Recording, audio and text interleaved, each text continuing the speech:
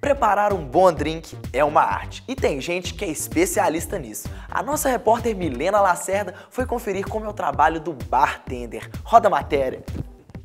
Eles estão em todas as festas. O bartender é uma profissão que exige dedicação, carisma, prática e equilíbrio.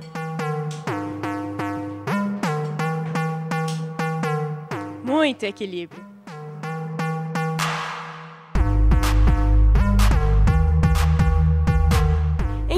Mundo existem vários cursos para se tornar um profissional no preparo de coquetéis em geral, os bartenders. Em Belo Horizonte, essa área está cada vez mais promissora. De onde surgiu a ideia de abrir uma escola de barman? Ah, visto que a gente já tinha alguma experiência no bar e a necessidade que a gente vê no mercado de, de profissionalização na área, a gente decidiu abrir uma escola para atender as empresas de eventos, bares e restaurantes da cidade. E qual o objetivo dos alunos quando chegam aqui? É um hobby, é para qualificação profissional? Bom, a maioria é para trabalhar em eventos e também nos bares e restaurantes. Mas agora a gente está com uma nova demanda que são os bartenders que querem fazer intercâmbio. Além do preparo de bebidas, esses profissionais dão um toque especial na hora de servir, fazendo malabarismos. São os bartenders conhecidos como freestyle. Qual a diferença do barman clássico para o barman freestyle?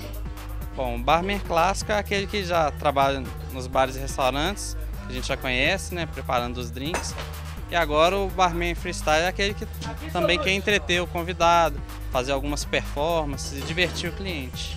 As aulas, que são sempre animadas, exigem muito conhecimento, atenção, treino e agilidade.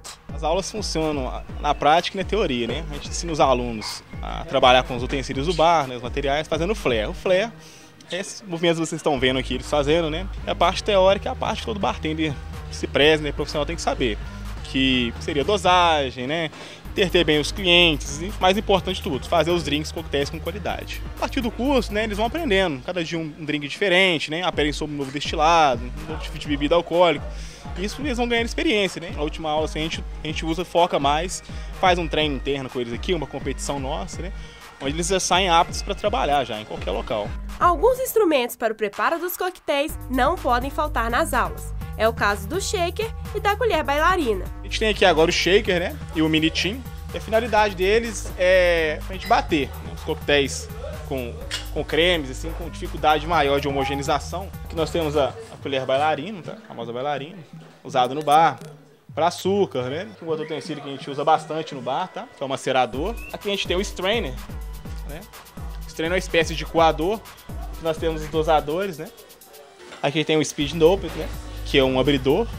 Que a gente tem agora aqui é o Mixing Glass, tá? É um, um copo, na verdade, né? Ele funciona...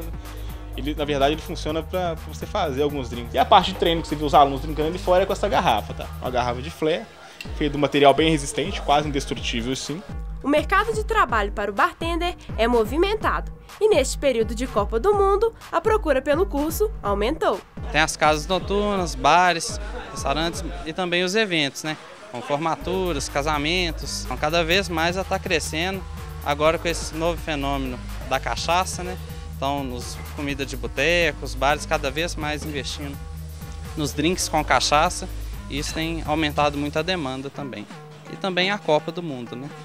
Bom, a, gente, a, demanda aqui na escola aumentou. A gente tem recebido, esse período que antecede a Copa, muitos alunos. Os alunos contam por que decidiram fazer o curso de bartender. Meus amigos influenciaram, acabou que só eu que vim. E também é uma área que eu gosto pra caramba, sempre gostei. E resolvi entrar na área agora de cabeça. Eu já trabalho na área, né, como barman já. E como batendo ainda não, fazendo flare. Mas pretendo, em breve. Quantas garrafas você já quebrou durante o curso? Durante o curso? Acho que umas oito, contando com as três de hoje. Eu gosto da área e eu acho que é um elemento a mais para mim, na minha área. Por que, que você resolveu fazer o curso de bartender? É, o primeiro intuito era agregar valor e conhecimento na minha profissão.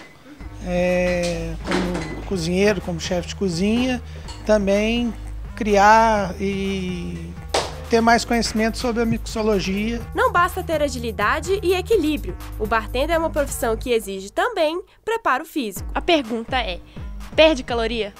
Bastante, viu? a galera acha que tá fazendo academia junto aí, né? Tem uns três aí que chegaram, fizeram perder uns dois, três quilos aí, né? Reparei, depois de duas semanas de curso, a gente chegou mais fininho aqui, viu? Então eu recomendo, vem mesmo, gente, fazer o curso de flare com a gente aí. Além de perder vários drinks deliciosos, né? Fazer flare, bastante entretenimento, ainda perde umas calorias e fica fininho. Eu não pude deixar de testar minha habilidade e tentei fazer alguns movimentos. Sem sucesso.